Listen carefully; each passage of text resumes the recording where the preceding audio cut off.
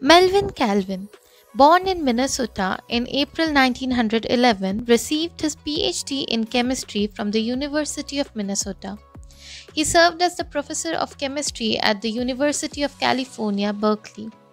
Just after World War II, when the world was under the shock after the Hiroshima Nagasaki bombings and seeing the ill effects of radioactivity, Calvin and co workers put radioactivity to beneficial use. He, along with J. A. Bassham, studied reactions in green plants forming sugar and other substances from raw materials like carbon dioxide, water, and minerals by labeling the carbon dioxide with C14. Calvin proposed that plants change light energy to chemical energy by transferring an electron in an organized array of pigment molecules and other substances.